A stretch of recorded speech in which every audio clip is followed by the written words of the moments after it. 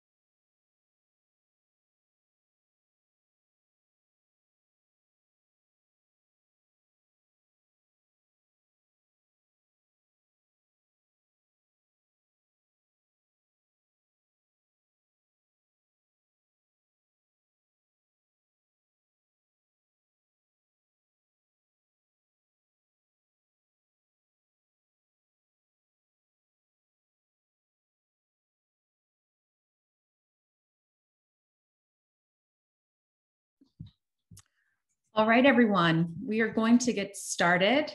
Um, my name is Muffy Grant. I'm the executive director of the North Carolina Early Childhood Foundation, and I would just like to welcome you all um, for, for joining us today on what may prove to be a very blustery, windy, rainy um, Thursday here in North Carolina. So we're hoping to get through this very rich uh, agenda um, in time before there's the potential for losing power, but maybe not, hopefully not. Um, just a little bit of housekeeping before we get started. I'd like to invite you all to use the chat um, in order to talk with one another during the presentation and panel. There's going to be a lot of great information and a really superstar, phenomenal panel. Um, so we'll try our best to mostly answer the questions in the chat, but a lot of um, the questions that you ask in the beginning in particular may be restricted to time because we really do want to make sure we reserve uh, a good chunk of time for our panel. Um, this webinar will be recorded. We will send out the recording along with the slides shortly after this webinar, either today or tomorrow. So I just want to thank you and, and sort of seed the conversation as it relates to North Carolina. Um, the North Carolina Early Childhood Foundation was um, given funding to commission um, a panel to parents during the fall of this past year. And it really aimed to ask two questions. What were the issues with um, finding childcare and the costs um, uh, burden on families pre-pandemic and then what are families feeling mid-pandemic have their attitudes towards um, the type of childcare that they're seeking changed. Um, have they lost childcare in their community because uh, providers could no longer stay in business? Have they been um, really leaning into family friend and neighbor care and other informal types of care situations? Um, and so through that, we also were able to get an economic an economic analysis um, commissioned through um, an economist at um, City University of New York. Um, and he's also the chief economist at Teachers College at Columbia University. And what this survey showed us, um, the first thing about it, which was really great, was it was a relatively um, representative sample of 802 working North Carolinian parents with young children, zero to five, NNC. Um, the participant characteristics from late October correspond very closely to our demographics here in North Carolina, um, representing urban, suburban, and rural populations. Um, and also it aligns with the state's racial demographics. So next slide, some key takeaways. Um, there we go. Some key takeaways were that um, pre pandemic, only half of all parents were able to access any type of formal center based care. Six months into the pandemic, which was October, the time that the survey was conducted, um, this rate fell to less than one in three. The decline in enrollment was caused by families exiting the former sector completely. The formal sector, excuse me. Only half of all working parents receive any type of childcare supports from their employers, and most of the available supports were opportunities for leave from work. Fewer than one in 10 receive subsidized childcare from their employer. Emphatically, these parents say that childcare is too expensive or too low quality. Also, many childcare arrangements are not worker friendly, convenient, or flexible. Um, the pandemic has just made childcare unaffordable for many families. Many other parents are not working and no longer need childcare. As the pandemic continues, parent ex- parents expect these trends to worsen. Households of color face more early education challenges. Uh, the care that they rely on is lower quality with fewer employer supports, and the pandemic has disproportionately impaired their access to childcare.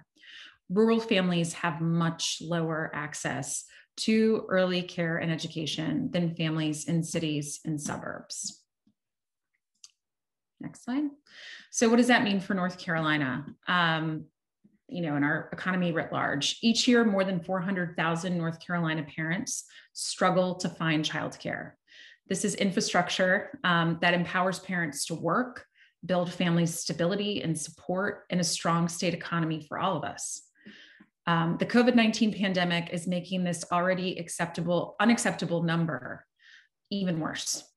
The struggle to find childcare meant that North Carolina families, businesses, taxpayers, and our entire state economy were losing nearly $2.4 billion per year. And this is before the pandemic. At this point in time, that number stands at $2.9 billion um, and is likely still growing. Formal childcare availability has fallen by approximately half since the pandemic. Both supply and demand factors are playing an important role in the new mid pandemic patterns of childcare. Some families have lost childcare because their employer, their provider has closed, others because they couldn't find a provider during the pandemic. Significantly, three in 10 families no longer rely on childcare because they simply can't afford it. And one third are not working and therefore have substituted in home care over formal center based care. It still remains to be determined if this last group of parents will be able to find work again if they have no obvious access to childcare.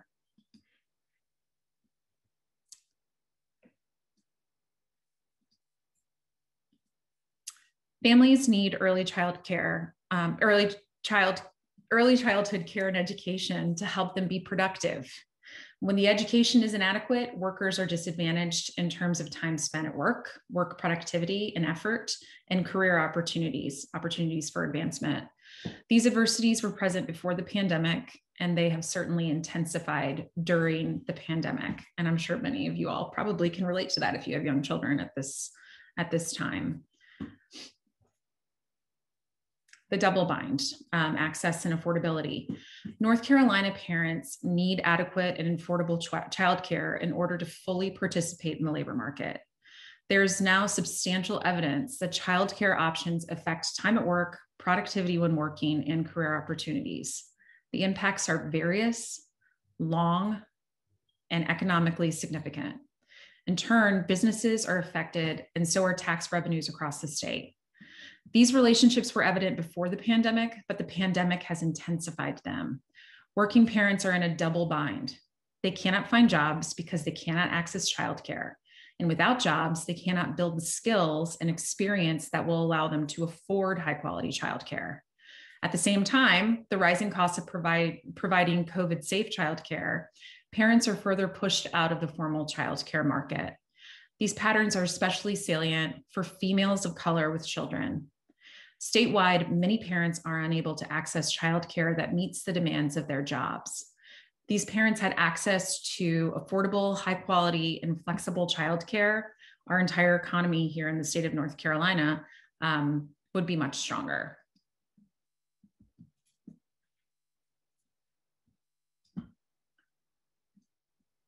So, at this point in time, um, It's my great honor to introduce to you the communications director of the First Five Years Fund, um, Charlie Joughin, who's going to share a little bit with us about how um, early childhood investments across the country and in particular in eight swing, swing states swing states are very um, popular across the political spectrum. Um, so without further ado charlie uh, welcome to north carolina and we look forward to learning from you thank you very much muffy and um, to the north carolina early childhood foundation. Um, i recognize like like you mentioned that a lot of folks are experiencing bad weather so hoping for safety and a, a quick passage of this storm. Um, as Muffy mentioned, I work uh, with an organization called the First Five Years Fund, which is a federal facing advocacy organization working to ensure that all kids um, have equitable access to high quality early learning and care opportunities, um, particularly kids um, living in poverty who we know uh, would benefit most from, from these opportunities and from these programs. Um, and as part of our work, we uh, often poll voters nationally as part of an advocacy tool to show lawmakers that there is widespread support um, among voters of all walks of life across all political persuasions for the kind of programs and systems and investments that we know stand to really benefit kids and families, communities, and, and the broader economy. So um, depending on whether we're in an election year or what's happening on Capitol Hill or what's happening broadly politically in America, we, um, we conduct these polls and um, periodically, like we did in September of this past year, we did an oversample of our poll um, in swing states that are especially important electorally. Um, and so if you go to the next slide, you'll see um, the states where we did an oversample in September were Arizona, Colorado, Georgia, Iowa, Maine, Michigan, and North Carolina. And so what you'll see throughout um, this deck is that we, we have data that shows the sentiments of voters nationally and um, the sentiments of voters in these um, swing states. It doesn't necessarily represent the views of, let's say, North Carolina voters. It is sort of the aggregate of voters in these swing states, but it's still particularly compelling when you're thinking about um, speaking to lawmakers and to campaigns um, about these issues because it shows that you know there's an understanding in um, in some of these states that matter most, particularly in 2020 through a presidential election, um, that these are issues that candidates and elected officials um, should really be paying attention to. Um, so the next slide, and maybe even one after that, um, just to sort of start off and as part of an establishing um, set of questions, we wanted to gauge how um, families who were being, uh, who participated in this um, survey, so parents, how they were gauging um, and, and feeling the impact of the pandemic for themselves and for their families. Um, so we asked a handful of questions you know, uh, about the pandemic in general and maybe not specific to childcare and early learning. Um, obviously, you know, bear in mind that this is from September, so a few months ago and things change really, really rapidly. And so maybe sentiments um, in September were maybe a little bit different than right now, probably not too terribly different, given that the pandemic and its impact are still felt really, really strongly in among families across the country. Um, but at the you know the other piece of that is that in september congress had not yet passed either the relief package that that congress passed in december or the american rescue plan um, that just passed um, a couple weeks ago. But the data is still very very relevant um, and i think as you'll see later on it really does help paint a picture um, of the the perception of childcare and early learning and, and its importance, both in the middle of the pandemic, but also broadly a, a change in perception about these important issues. So as you'll see here, um, there's no question that voters nationally and voters in swing states say that the pandemic has had a, a tremendous impact um, on both work and family situations. And you can um, see that there is sort of an intensity scale there where people are saying there is a lot or either some or a lot of an impact, both among um, all voters and swing state voters. Next slide. Um, and we asked uh, the parents who were participating in the survey whether they thought that their current childcare situation um, was something that would work for them uh, in the long term, something that was working for them now or not working for them at all. And it's pretty remarkable that almost 50% of parents, 46% um, said that their um, current childcare situation would only work for them in the short term or not working for them at all. And I think that um, obviously this pertains to, to families with older school age kids too, but there's no question that that, that is indicative of what um, what families with with younger kids from birth through age five were, were feeling. Um, and uh, we also know just from from other surveys that have um, been taken that the the impact as um, Muffy was just mentioning of some of the closures that childcare facilities were experiencing have have had a true and um, hopefully not lasting, but a strong impact on families. Um, and then the next slide, I think, is perhaps the most consequential from um, this poll. Uh, we asked voters whether um, they think that the, the pandemic has revealed how essential childcare is. And overwhelmingly, voters um, say that the pandemic has shown how essential it is that we build up a childcare system um, that works for all families who need it. 80% of all voters. Um, I don't think it's a surprise that even more women say it is essential um, that we build up a strong childcare system in America. And Republican women who in any election um, are, are more falling into that swing category electorally, 63% uh, of Republican women agree um, that the pandemic has revealed how essential it is um, that we build up a strong childcare system in America. So really, really consequential and something that we as advocates know we have to leverage because people's memories are short. And so we, we wanna make sure we're taking advantage of this moment where there is such a deep understanding about the importance of, of childcare and early learning.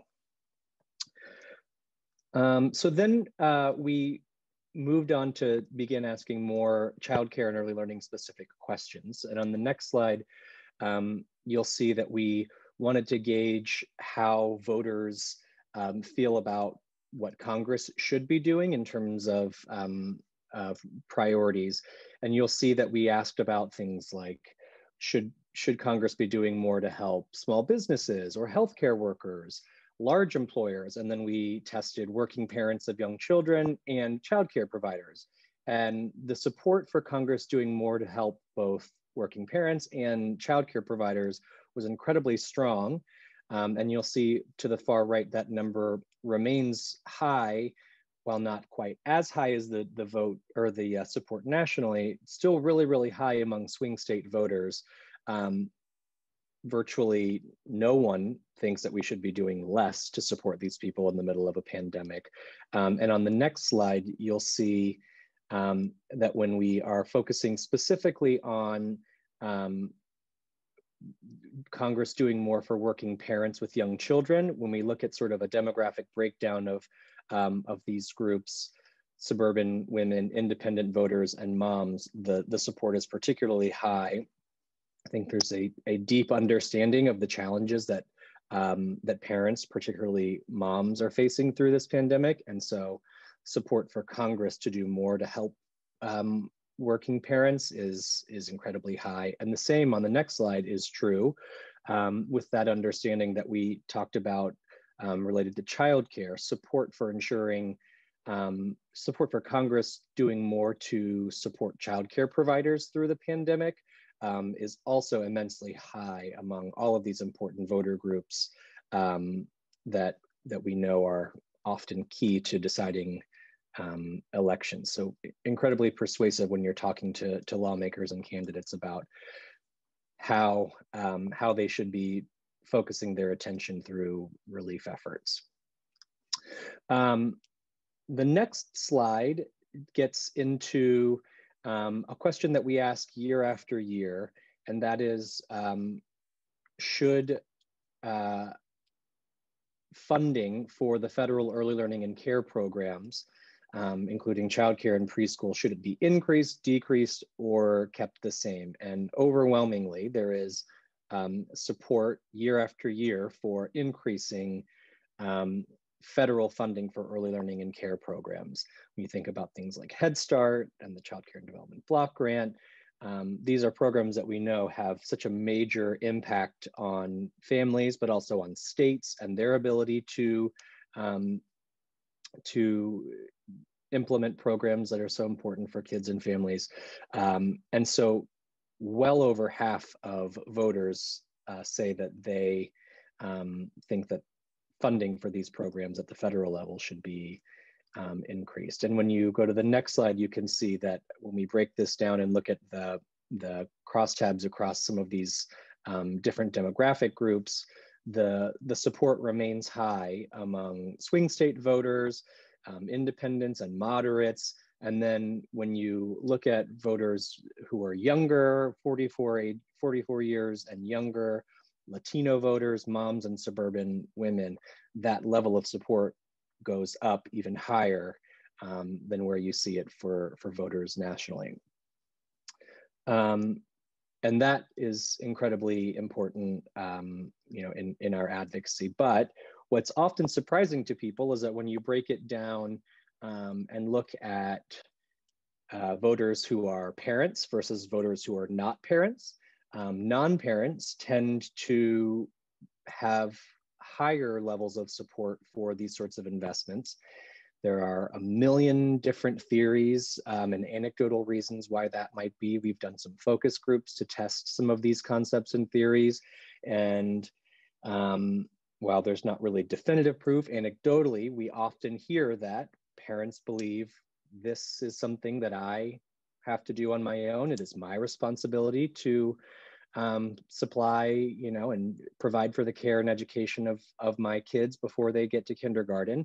So the government is, is not responsible. And yet people who are not parents in the moment recognize that maybe even maybe a little bit more than parents, that there is perhaps um, a need to be doing more to support kids and families. And so um, support is still in the majority um, for parents and non-parents, but it's always interesting that um, that the support is is higher among non-parents. All right, on the next slide, um, we transition into um, the need for both uh, an investment in in relief uh, as it relates to the pandemic, but also thinking a little bit more about um, you know the long-term investments that we know that we need.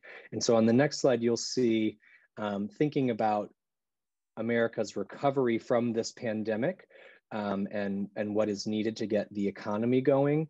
Uh, Two thirds of voters say that high quality, affordable childcare is at least very important. So if you're thinking about whether it's somewhat important, very important, or essential, two thirds say that it's at least very important, but almost a full third of voters say without question that childcare is essential to getting the economy going, which you know is is remarkable um, and and something we know that lawmakers understand um, as well. And then on the next slide, that um, that support exists among Republicans, independents, and Democrats. We're, we're in the majority um, at 54% of Republicans, independents at 63%, 81% of Democrats all agree that childcare is essential to getting um, to getting our economy going as we think about a recovery from the pandemic.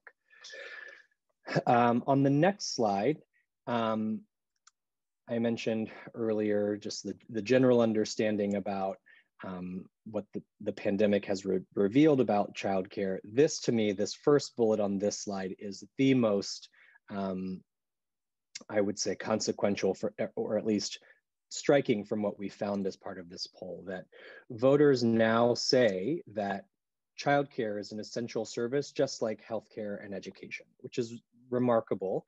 There's no question that voters have always thought about, you know, quote unquote education for K 12, things like that, and healthcare um, as being essential services um, that that will strengthen the workforce um, and that we need to be doing more to, to build it up. But now we know that 84% of voters nationally say that childcare is an essential service, just like health care and education. And 55% say that they strongly agree. Um, so that's that's really, really remarkable and something I think that um, you know, is a result of the pandemic and the devastation that we've seen to the childcare and early learning sector and the impact that that has um, that it has had on families nationwide. Again, thinking about things in the long term, having more high quality childcare will strengthen the US economy and the workforce over the long term. Really, really strong numbers there. And then um, going back to that um, point that we made before, 53% strongly say that the childcare, that the coronavirus crisis has shown us how essential it is that we build up a system of care that makes childcare available and affordable to all families who need it. Um, the next slide, um, thinking about you know the impact of the pandemic and um, you know all of the data showing that closures of childcare and early learning facilities are going to have a, a major impact on parents' ability to return to the workplace whenever the time is right. Voters say that they're worried that um, that these childcare facilities are going to close or stay closed. Um, and that is an intensity level of, of 58%. So of, of all of all voters nationally, 58% say they are worried about it. And well over a quarter um, say they're worried a great deal about it, which is a, a really, really strong intensity. Um, and on the next slide, you'll see um, that when you think about all of the uh, potential outcomes of families, communities, children losing out on that access to, to quality childcare, the number one concern that people have um, is that it will have a negative impact on kids and their learning um, and the skills that we know children are developing during these, these earliest, most consequential years of their education and development. The, the second one being you know the the family economic side of things parents not being able to return to the workplace um, and then um, third pretty close behind that that um, parents being able to return to work is the, the financial stress and uncertainty that families are facing.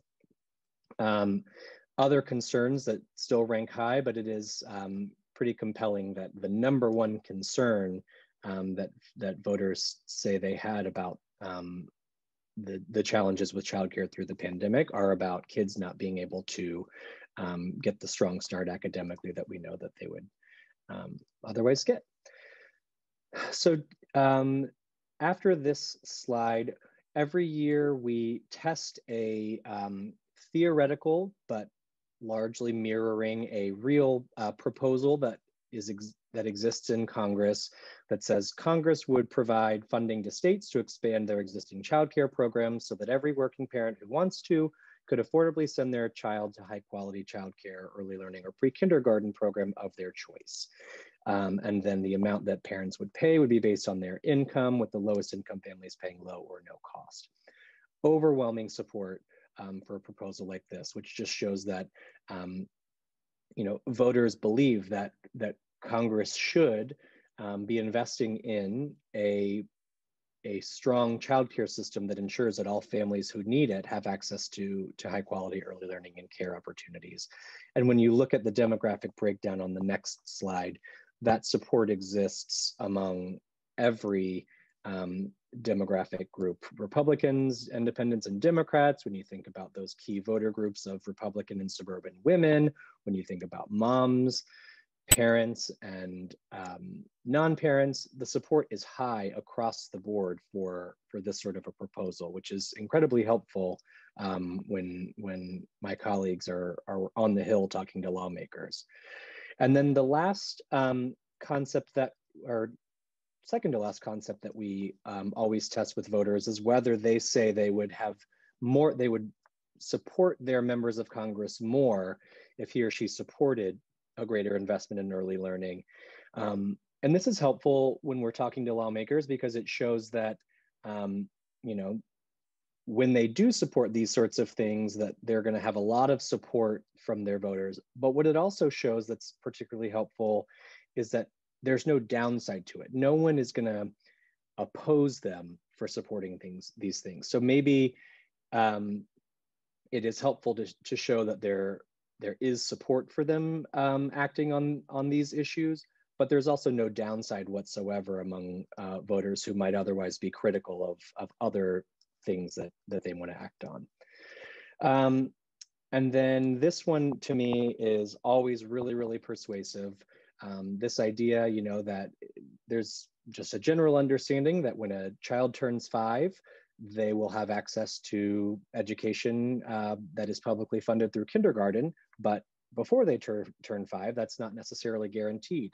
And our poll shows that 77% of Americans, including 61% of Republicans, believe that the care and education of kids from birth through age five should, um, should be publicly funded in the same way that it is starting in kindergarten. So really, really compelling um, in terms of the voting public's understanding about the importance of uh, the care and education of kids uh, beginning at birth.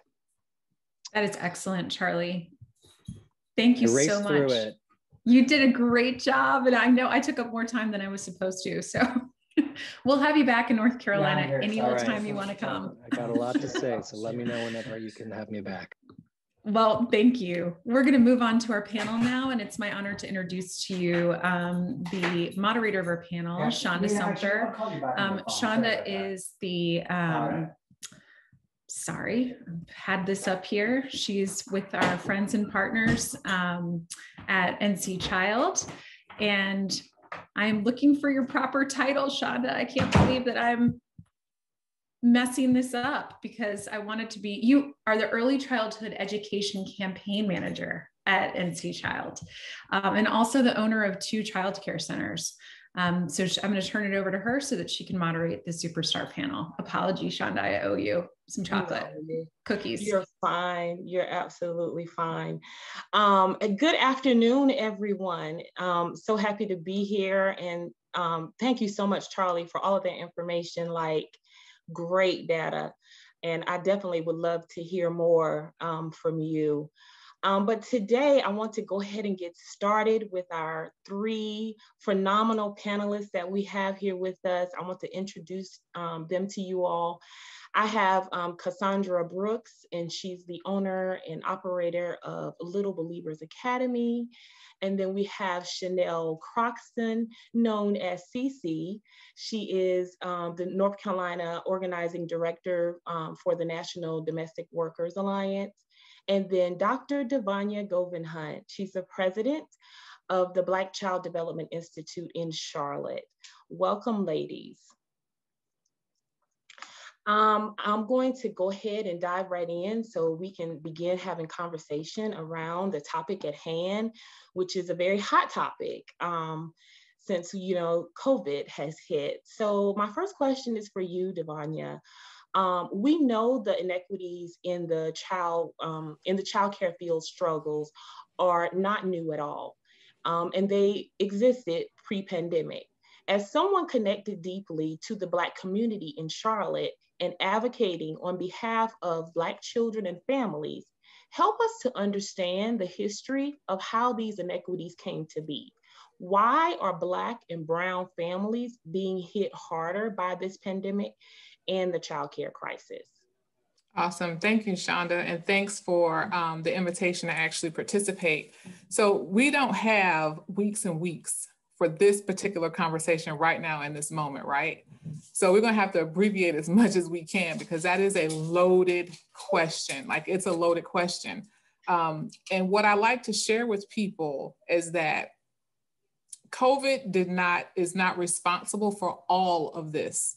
All of these inequities, all of the disparities, COVID is not responsible for uh, 100% of the struggles that our Black community is facing right now. Black folks have been um, dealing with essentially two pandemics, right? There's racism, mm. and then there's COVID 19, right? On top of that. So, decades of occupational and residential segregation um, has been an issue for decades, decades.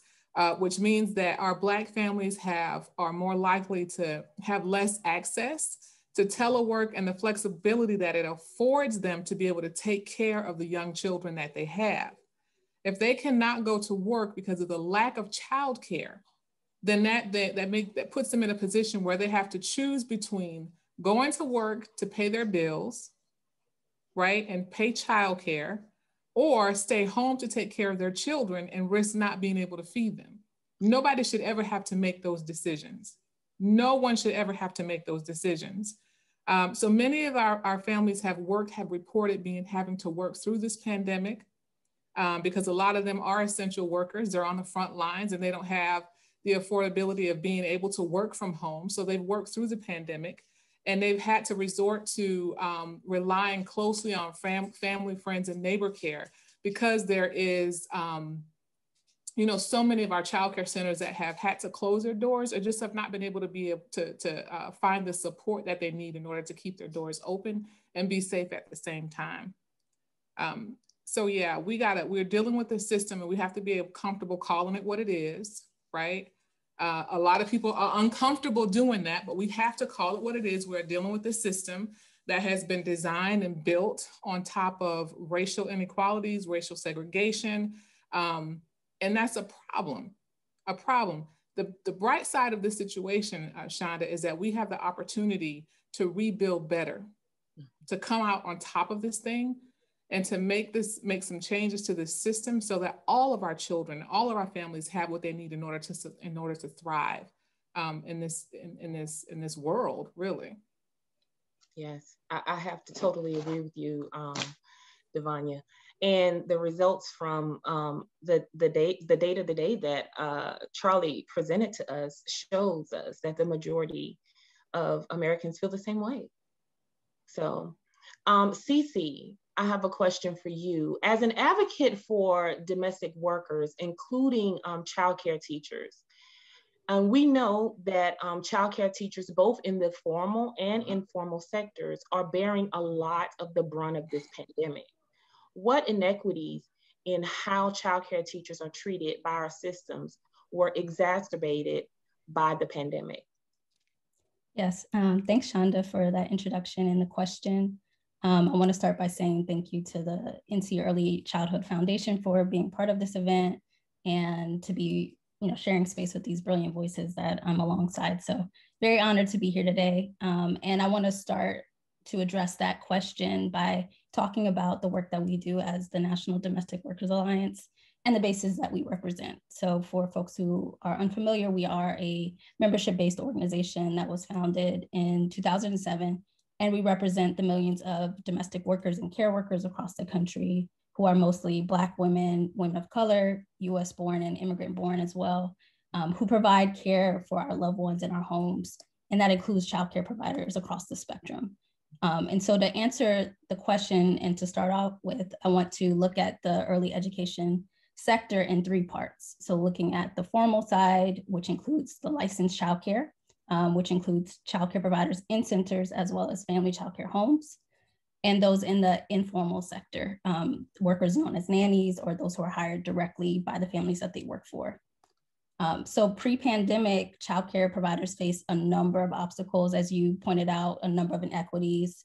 For teachers and professionals in centers, this looked like dealing with low wages um, of about 11 to $12 an hour, almost 40% of the workforce on some form of public assistance, and truly a lack of comprehensive or limited life affirming benefits, what I call life affirming benefits that includes paid time off, paid leave, retirement benefits, and health insurance.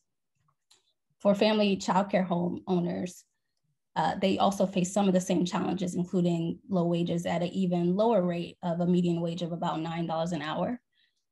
They also have to grapple with low subsidy rates if they have children who are on subsidy in their program, um, that truly does not keep up with the cost of care and what it takes to provide quality to those children. And they also have to maintain quality for their students while being both a provider and an owner without the help of an additional teacher. Um, also have to struggle with securing healthcare with only 16% um, completely uninsured or 21% receiving healthcare through their spouse and lastly, also having to navigate the complex regulations that can sometimes create an additional burden on them um, as they provide the necessary care to their children.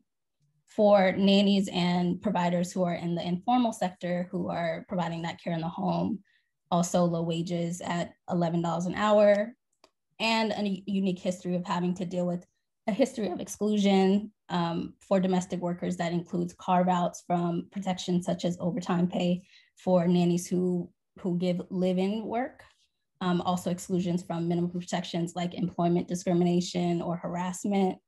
And on top of that, also facing the precarious nature of the work and the varying standards that comes with whatever agreements or contracts that they're able to negotiate directly with their families. And so you see some of the shared issues and also some unique ones to each of those parts of the sector. Now, understanding all of this, the childcare system has been defined by low standards for the workforce and has been tremendously impacted by the pandemic over the past year that it's raged on.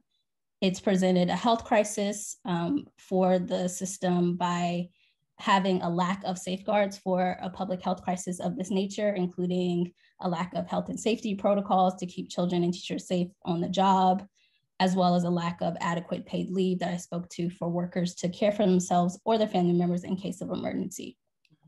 Economically, the pandemic has also done a number on workers. So for a workforce that already experiences a poverty rate that is 7.4 times as high as K through 8 teachers and a poverty rate of 70, 17.6%, this pandemic was an economic crisis that they truly just could not afford um, and having to deal with uh, closures of their centers in the beginning or being furloughed or being laid off um, is something that has exasperated the already precarious economic nature of the work.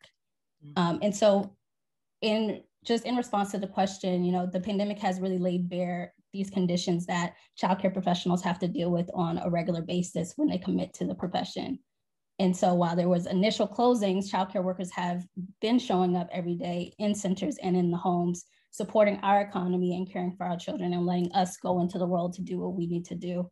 Um, and what has happened has shown us that we truly can't function without childcare providers. And yet our system and our the conditions that they face show us that even though they're labeled essential, um, they truly are expendable.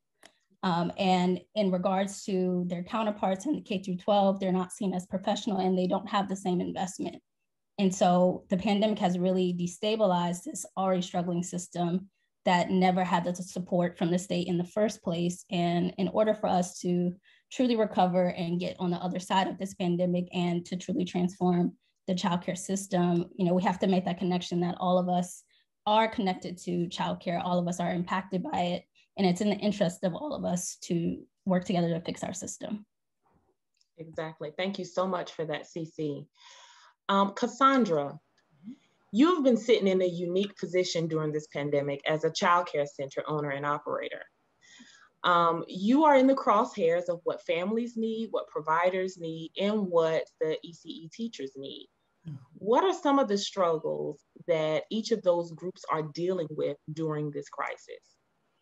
Thank you so much, Shonda, and thank you again um, for having me on this panel. Um, just very delighted and always humbled to be able to share um, share my experiences um, with everyone.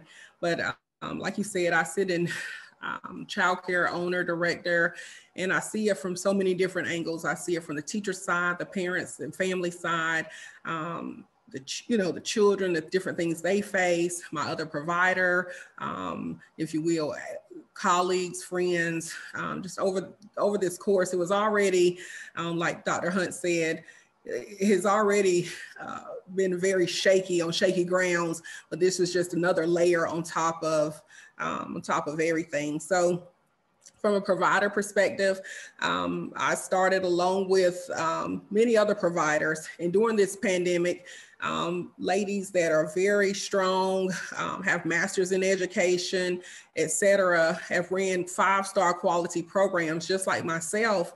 Unfortunately, they had to close. Um, and so it, it really um, you know, really makes me sad that, you know, people that are, that we need in this field, that we need to help these children, help these families, they couldn't go on. They had to close their doors. Um, and some of my other ones, they've had to scale back you know they they are you know really op- operating very minimally because they can't afford it they can't afford to bring in the staffing due to all of the extra precautions that we have to take due to all of the um, extra steps that we have to take to keep everyone safe due to the lower ratios trying to keep all of the children safe. They just can't do it. Um, so then i see it from my parents perspective and my children and my heart always goes out um, you know, to the children and things that they suffer. You know, I have a family now living in a hotel, you know, trying to work with them and their social worker to try to get them enough funding to be able to move out of the hotel. I mean, this is this is just not like one off. This has been happening. Um, like you know, Dr. Hunt said, these families have already been uh, on this system um, for quite some time, and the racism that has occurred, they just cannot get off of the system. Some of them, mm-hmm. and you know, they're living in hotels, homeless, um, living in shelters, um, food insecurities you know, uh, myself, I've purchased diapers. My mom has purchased diapers. And, you know, anybody that can help these families and children, that's what we've had to do.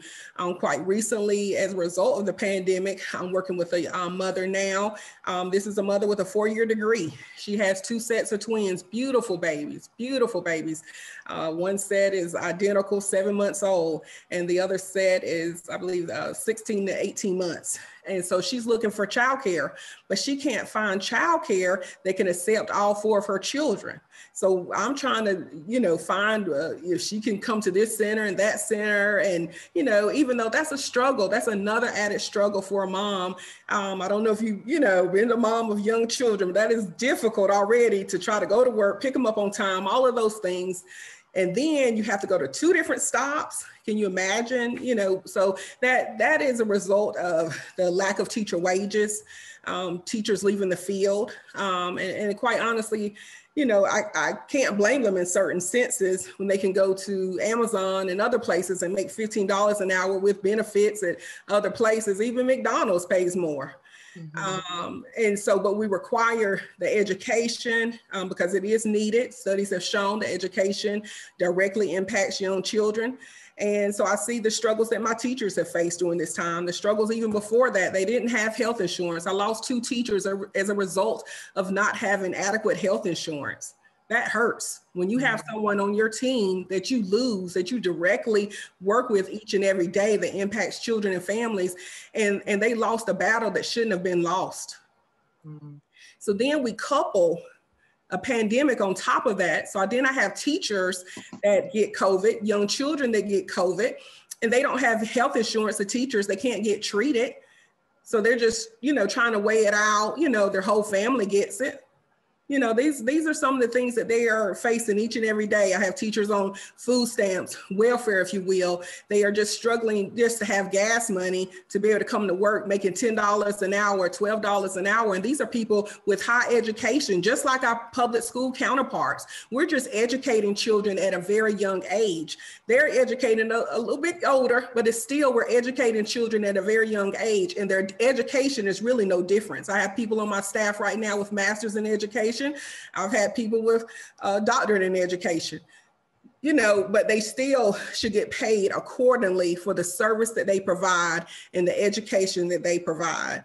So I, I am in a unique position. Um, you know, you're trying to figure out what is, you know, what is the best way, what is going to help everybody.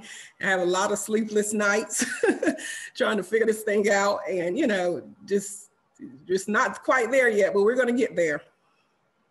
Yes, Cassandra, I have to say, I feel what you're saying, especially when you talk about mother twins. I have twins myself, and I know that's double work. So to have to go to two, make two stops, that's just nobody should have to do that. That's that's just not that's just unacceptable. Um, um, Dr. Hunt, how does family, friend, and neighbor care, and I'm talking about both informal care and mm-hmm. family childcare homes fit into this conversation? Absolutely. Um, so it's the simple way to put it, uh, Shonda, is that we have to support it. We have got to support it. the way that our system looks at, refers to, categorizes, and talks about friends, family, and neighbor care is a little bit disturbing. Well, it's a mm. lot disturbing actually. Uh, parents of very young children across, across all income levels, cultural groups, across languages, across communities want caregivers who know and value their children and who share fundamental family customs and values and taking care of their children. And so there should not be a downside for relying on friends, family, and neighbor care. Uh, many families that we work with here on the ground have reported resorting to friends, family, and neighbor care during this pandemic because they've lost formal childcare, so to speak. Their centers had to close their doors, their providers had to close down because of a lack of support. Um, but, but families want programs that are culturally relevant, that are culturally responsive, that are affirming, that are rich, um, and that's where they want their babies. That's where they want their fam, where they want their children. Um, and so DCD actually reported, DCDEE in uh, North Carolina reported an uptick, right, over the past year in family child care homes opening, which actually proves the point that family child care providers have been stepping in and filling the gaps for families. They've been stepping in and filling the gaps for families. That is important. That is something that we need to acknowledge and pay very close attention to because obviously um, the people that we work with on the ground, the people that we hear from, the people who are suffering from these disparities, these inequities, the people who have lost their child care programs um, actually express how fortunate they have been to find a family child care provider with an intimate setting with someone who actually cares and understands the customs and the values that they come that children cross that threshold with. So it's important it's important we have got to find a way to change the language that we've been using when we refer to friends, family, and neighbor care yes. because it matters. It yes. matters. Absolutely. We've just got to, we've got to support them. And they're super, there are lots of opportunities out there to work with um, these folks. And they think that, you know, I heard somebody say a couple weeks ago that because um, their child was not, was with grandma or with auntie during the day, that there was not learning going on. And that's not the case that is not the case. So this is a this is a kind of deficit language that I'm talking about that we hear out in the community. And there are all sorts of resources and um, techniques that we can support family, friends, and neighbor care with because they're in the process of building brains as well. Just because they're not in a large childcare building, just because they're not in a K through 12 building does not mean that they are not growing brains. Exactly. And this is where families are comfortable. And if we truly are talking about redesigning systems and meeting people where they are and building things with families and not for families, we have got to take into consideration that this is happening. It's a reality. It's proven to be good for so many of our children, and we've got to find a way to support that as well. Exactly. I can't agree with you more. Actually, the early years of zero to five is the most important in, for a child's brain development so that those are the most important years. And we we need to to definitely you know have this much needed conversation. Cece, the problems in the childcare sector aren't new. And what we always hear is is that they're difficult to fix that the solutions have to be um, long term in scope and that teachers need to be patient and the situation will slowly improve did the response to the pandemic shed any light on this idea that change is difficult and must be slow? Absolutely. I think the response absolutely shed light on what is possible and what is possible now and for the long term. And I want to point out, you know, the official response to the pandemic is really a contradiction within itself. You have, on one hand, a really slow response to the health crisis that has resulted in more than half a million deaths. And on the other hand, a small set of really impactful, effective measures that have that, that the government has offered up to truly stem the economic crisis on hand. And so while I'm of the belief that our government has generally failed us, you know, there are a couple of things that I want to point to, both on the federal and local level, that have addressed some of the deep-seated issues in the child care field, some of the ones that I spoke to earlier. So on the federal level, one of the things we saw was in the CARES Act, an expansion of unemployment programs that truly assisted childcare workers during this time when it was needed the most. It not only aided workers in the childcare field who struggled with the loss of hours and income, but it also included many of the childcare providers who otherwise wouldn't be considered for unemployment. Um, and so just a little bit of context for that, NC ranks among the lowest states in terms of unemployment when it comes to maximum benefit amount, when it comes to duration of the benefits, and the percentage of jobless folks who are able to receive those benefits. And the federal changes that came in these packages really changed the conditions that um, folks find in unemployment and allowed for those benefits to help workers to gain more for longer periods of time. It allowed for them to cover more types of workers, including self-employed workers. So folks like family childcare providers and nannies now were able to, to access unemployment insurance, which helped them throughout this time to deal with loss in enrollment, loss of income, and loss of hours. We also saw things like paid sick and emergency family leave that were provided in the Families First Coronavirus Response Act that extended necessary benefits to workers for comprehensive paid time off related to the virus. And so many childcare providers, it allowed for them to access finally adequate leave to care for themselves if they got sick with the virus or if they had to care for their children due to the virus or to school closures. And this is paid leave that under normal ordinary circumstances, they just wouldn't have. And so you saw, you know, the contrast between pre-pandemic and what was offered up um, in regards to these types of benefits. Locally, we saw an even more aggressive uh, public response and investment in our childcare system. Um, and I want to point to a couple of things that the Division of Child Development and Early Education has done throughout this year to really step up for childcare workers. Um, and so you saw different policies enacted to address the crisis, like the waiving of parent co-fee, co-pay fees for, for families, paying in full for subsidized slots for um, enrollments when they dropped, funding of emergency childcare for first responders and essential workers um, who are on the front lines of the crisis, relaxing of regulations, providing bonus payments, um, and not just one-time bonus payments, but bonus payments throughout many months of the crisis, operational grants to centers and family childcare homes, health and sanitation supplies, PPE, and a lot more. And so the response was really comprehensive and allowed for the crisis not to get to a point of no return. And so one of the stories that I think points to, you know, this stark contrast is one that I had a story I had with one of our members in NDWA who spoke to me about the money that she was making throughout this time. So she she pointed to being on unemployment when she was furloughed, um, and then also the money that she was making through bonus payments throughout the pandemic, and pointed to that as the most that she's ever made in this field in decades of doing this work. And so I think that you know that story alone points to the problems at hand, the problems that exist and are deeply rooted in our early childhood system and shows just how divested our system has been. And so all in all, I think that, you know, it points to, you know, in regards to change and transformation and how long that takes, that this was always possible. And what it comes down to is political will and the courage and opportunity um, and in moments of crisis, what I've seen as you know an organizer, um, crisis really creates polarization and an urgency to respond in different ways. And this moment in the pandemic was no different.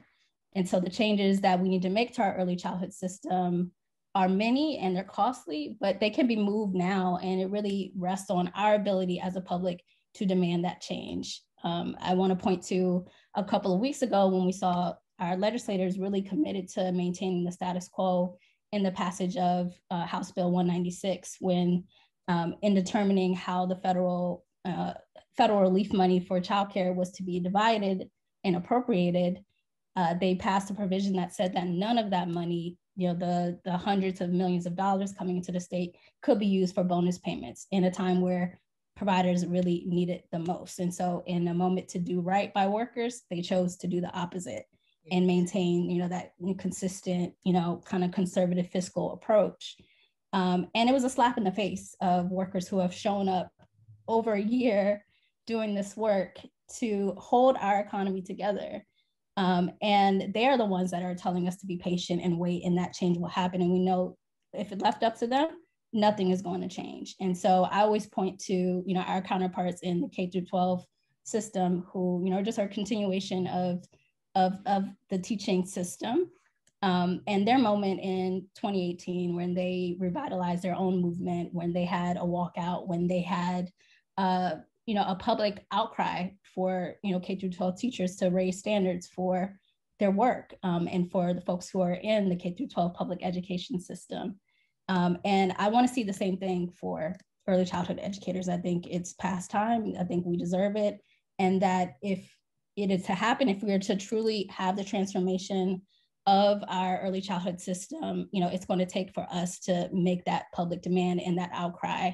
Um, and for us to work from, you know, from the top to bottom to, to transform the system through our collective action, through our collective work and through really forcing the hands of the folks who are making these decisions. Because if it left up to them, as I said, nothing is going to happen, but it truly is in our hand and we have the opportunity to do that and we need to take it.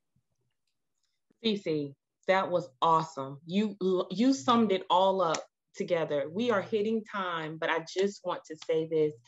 In North Carolina, we are beginning to have stakeholder conversations and you three ladies are part of those conversations surrounding long uh, long-term campaign to transform the early care and education system right and we're not just talking about licensed childcare because it's the whole system so we're beginning to have these conversations about this long-term initiative and i'm just happy to be able to work with you ladies um, thank you so much for your time here today. Thank you so much for all of your knowledge and expertise and being so willing to share it with us today.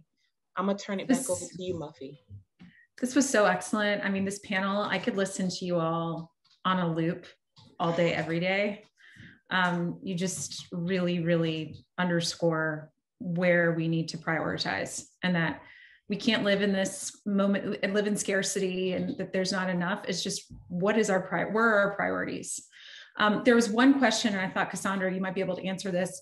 I know the answer is yes, but I can't remember the time frame. Was there bonus pay for childcare workers during the pandemic? Yes, there was bonus pay um, during the pandemic. I believe it was for the months of April through maybe June or July um, for the staff. Mm-hmm. Um, unfortunately, right now they have stopped the bonus payments um, for the staff, as CC um, pointed out earlier. But unfortunately, I just had a conversation today with the Wake County Health Consultant, and she said our clusters and our childcare centers are actually at the highest that they have been since the pandemic. Uh, right now, we have a center with 20 clusters in the center. So, um, you know, for them to take away the bonus payments, I'm not really sure the rationale um, from the legislators, um, you know, because this, the clusters are actually higher than they were when we shut down and all of that stuff um, back in the April timeframe last year.